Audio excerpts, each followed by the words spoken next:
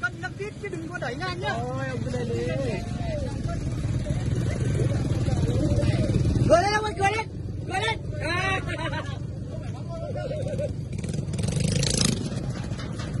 Ờ, cái ông già như này có đi bán phải không ạ?